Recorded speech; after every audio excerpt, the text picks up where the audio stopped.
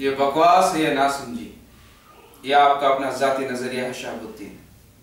मगर सच तो यह है कि दो आपकी ज़मीन की जरखेजी पर तुम्हारे सुल्तान का जी ललचा गया था। इसीलिए उन्होंने बिना सोचे समझे माल गुजारी पहले से दस गुना ज़्यादा बढ़ा दी। मगर खुदा की कुदरत, उस साल बारिश नहीं हुई। लेकिन क्या इसका इंतकाम रियाया से लेना चाहिए था? क्या माल गुजारी ना देने वालों पर जुल्म ढाना चाहिए था?